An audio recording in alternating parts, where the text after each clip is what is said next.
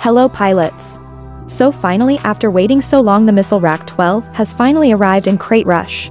Last time just a little sneak peek and it was removed. But now is the time. This is the third weapon which we are getting through Crate Rush.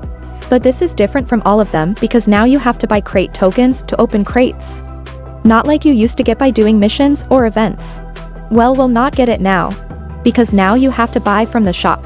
And now you can't even open Crate Rush with a coin. Even if you buy with money, your chance of getting out is only 0.5%. So finally devs got to know how to get money out of us.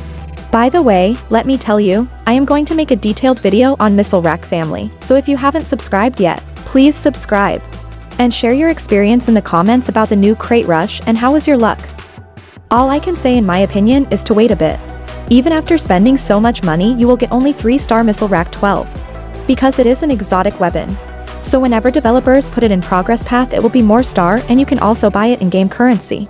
If you buy it from Progress Path, then in a way you will get it for free because game currency. So please wait a while otherwise you can spend so much money then do it. Many people must have been disappointed but there is no need to be disappointed. Because something else has also come with it. Like the new prototype skins such as Purple Power for the Guardian, Cyber Samurai for Zephyr and Battle Chicken for Lancer.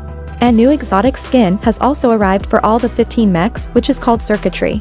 One of which has also come out for my Paragon. If you have seen till here then you must have liked it, if you have not subscribed then you can subscribe and also like the video.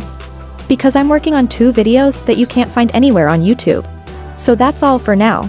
And keep hunting. No no no just good luck for today.